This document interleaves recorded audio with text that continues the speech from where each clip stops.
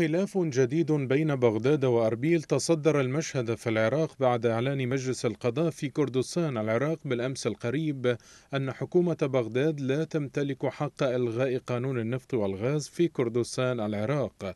وأن القانون سيظل ساري المفعول ردا على قرار للمحكمة الاتحادية قضى في شباط الماضي بعدم دستورية قانون النفط والغاز في كردستان العراق وطالب بإلزام كردستان العراق تمكين وزارة النفط الحالية وديوان الرقابة المالية من مراقبة عقود بيع النفط والغاز في كردستان العراق فضلا عن تسليم الإنتاج النفطي إلى حكومة بغداد.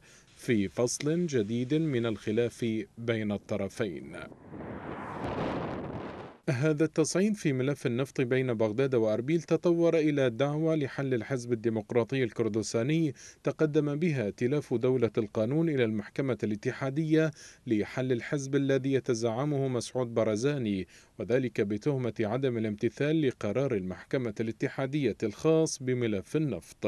في المقابل رد الحزب الديمقراطي الكردستاني على دعوى حله قائلا إن محاولات حل الحزب قديمة مضيفا أن اللجوء إلى القضاء للغرض نفسه يعد جزءا من تلك المحاولات.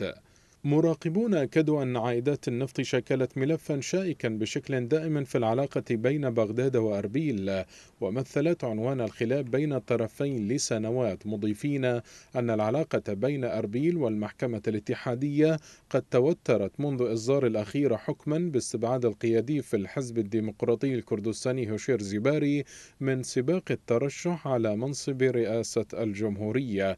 وذلك على خلفية اتهامه بملفات فساد بيد أن الخلاف في نظر عدد من المتابعين والمحللين هو خلاف سياسي عميق وممتد منذ سبعة أشهر بين الحزب الديمقراطي الكردستاني وحلفائه من الصدريين وتحالف السيادة الذين يسعون لتشكيل الحكومة وبين خصومهم في تحالف الإطار التنسيقي الساعين لعرقلة وإحباط مساع التشكيل في صراع سياسي وحزبي وميليشياوي مستمر منذ عام 2003 وإلى الآن.